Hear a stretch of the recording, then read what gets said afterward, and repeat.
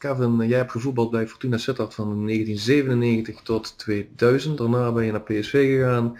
Toen naar Wolfsburg, toen naar Feyenoord, toen naar Cyprus. Nu weer teruggestopt als voetballer. Kevin, de derby tegen MVV, die heb jij ook gespeeld dan wel op eredivisieniveau. Wat kun jij je nog van de derbies tegen MVV herinneren? Ehm, ja, ik heb er een aantal gespeeld. Uh, inderdaad, MVV onder andere ook. Uh, eentje die kan ik me nog wel heel goed uh, herinneren, was uit.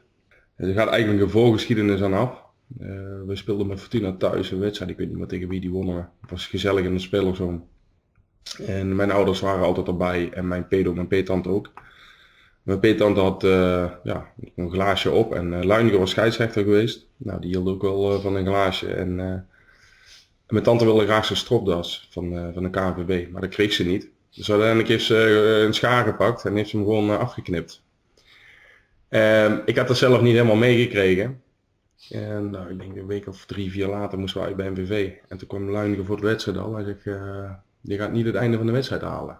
En ik snapte er helemaal niks van. Nou, ik was ook niet jong, ik was niet iemand die daar iets uh, op zei. Dus we zijn een speler, volgens mij binnen acht minuten kreeg ik mijn eerste gele kaart voor een sliding, dat was wel op de bal. En dan kreeg ik mijn eerste gele kaart en dan zegt hij zo, we gaan beginnen. En uh, nou, in de rust, we lopen naar binnen. En uh, ik kom na de rust weer het veld op. En dan kwam die en liep ik langzaam. En toen vroeg ik nog vanwege die gele kaart. Hij zegt, nog een minuut of tien dan dan is het klaar. En toen maakte ik eigenlijk ook een overtreding. Toen kreeg ik mijn tweede gele kaart. En toen kom ik naar binnen. En dat is een van de memorabele herinneringen. En ik weet nog niet meer wat de, wat de eindstand was. Volgens mij wonnen we wel daar. Maar ja goed, het zijn wel altijd leuke wedstrijden. En ik denk wel, in die tijd speelden echt nog veel jongens uit, uh, uit Maastricht op regio. Daar bij ons bij Fortuna natuurlijk echte Limburgers nog. En dat is natuurlijk steeds minder. Dus dat maakt het ook wel iets anders.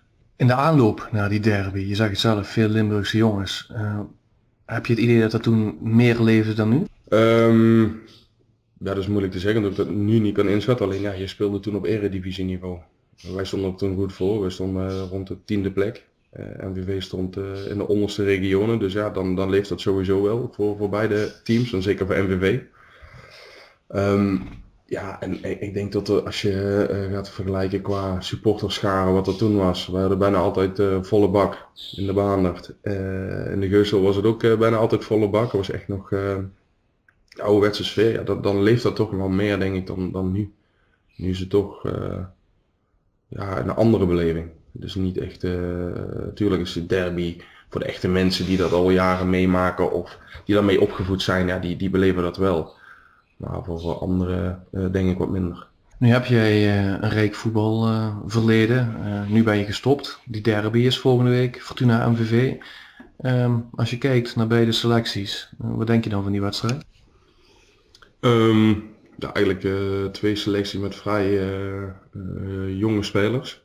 Ehm, ik moet zeggen, ik, heb, ik kijk niet echt heel veel, maar wat ik kan kijken, kijk ik wel. Ik heb laatst MVV ook zien spelen de MVV een, een, goed middenveld hebben. Uh, maar goed, bij Fortuna is op dit moment vind ik, uh, goed, Kaya is natuurlijk ja, voor mij de nummer 1. Uh, Roel Jansen die zich echt super ontwikkelt centraal. Terwijl hij pas 24 is, dus ja, dat zegt toch wel, wel heel veel. Ja, en, en nu is Timo van Maris heeft dan nu de kans gekregen sinds januari die het ook gewoon prima doet. Die jongen die wordt in feite voor de leeuwen gegooid vanuit het niets die het gewoon goed doet.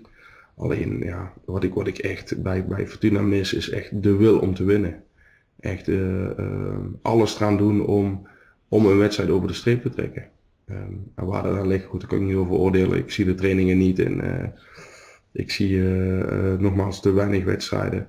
Echt dat gif om, zoals wij vroeger hadden in zo'n derby, of het nou Roda was of MVV. En VVV was dan een mindere mate, maar ja, dat, dat, dat klapt erop. Uh, op een goede en gezonde manier. Uh, dat mis ik nu heel vaak ook in wedstrijden. Maar bij MVV ook wel. Alleen die hebben toch wel een paar van die gasten erin staan die dat wel kunnen. Dus als ik je zo hoor, geef jij MVV de betere papieren in die derby? Um, ja, als je, als je zo gaat kijken wel. Maar uh, nogmaals, het is een derby. Het is een wedstrijd uh, ook weer op zich. Uh, de volgende dag. Ik bedoel, wie had verwacht dat Fortuna van Roda zou winnen? Had ik ook niet verwacht dat gehoopt op een gelijkspel. Nou, dan hoor je tot, tot ze winnen. Dat, dat, dat verwacht je niet. Dus daar hebben ze wel bewezen dat ze het kunnen. Tot, om met het mes tussen de tanden te spelen. Ja, en dat moet je eigenlijk elke wedstrijd doen. En in een derby is dat nog, nog ja, net, net, kan net 2, 3 procent meer zijn waardoor je een wedstrijd wint. Als je dan toch met deze factoren een prognose mag maken? Um, dan denk ik uh, een gelijkspel 1-1.